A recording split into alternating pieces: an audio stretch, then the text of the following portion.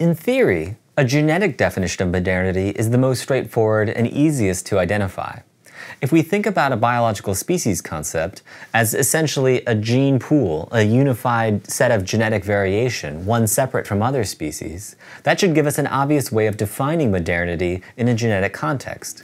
We should simply be able to look at all the genetic variation present in living humans and extrapolate when that genetic variation began to appear. It's more complicated in practice, however. In practice, we share so much genetic variation with other related species, going back deep into our evolutionary past, that it's not simply a matter of looking at human variation, it's a matter of trying to identify which part of our entire human genome, which part of our genetic variation is really important, which part of it is really essential to that process of becoming human.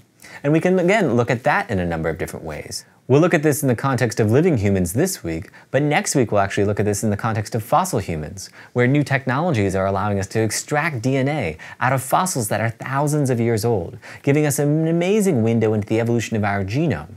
But from a genetic standpoint, we can think of modernity, broadly speaking, as that sum total of variation that we see within living humans today, and especially that sum total of variation that's unique to humans that's different from the variation we see within chimpanzees or gorillas or other related species, but that appeared in the context of human evolution, the evolution of the hominids. So variation going back over, say, the last 5 million years.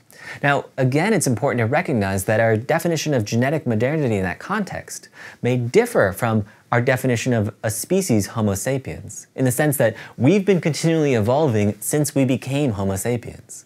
If you put the origin of Homo sapiens 100,000 years ago, we've still undergone a lot of evolutionary change in that 100,000 years.